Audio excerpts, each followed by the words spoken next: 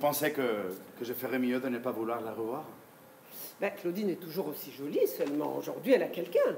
Quelqu'un de très bien. Très gentil, lui. Aujourd'hui, peut-être, mais demain. Eh ben, je te présente Octave, mon ami. Ah, ah, vous êtes le meilleur ami de Claudine. Non, non, pas le meilleur ami, son ami.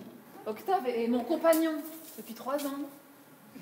Et c'est moi, enchanté, Octave. Non, mais là, tu te fiches de moi.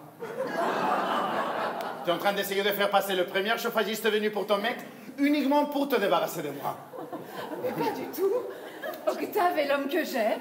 Bon, dis-moi franchement, tu me trouves folle de remettre en question trois ans de bonheur avec Octave pour le retour d'un beau mec qui m'avait abandonné?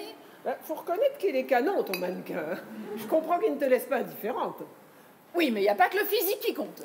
Oui, ça c'est vrai. Mais entre nous, ça compte quand même. hein. Il est excitant, il n'y a pas à tortiller. Il donne envie de tortiller.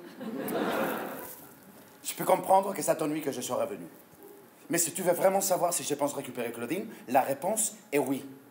Ça fait dix ans que je ne pense qu'à ça. Et moi, je dois laisser la place sans rien dire. Que le meilleur gagne.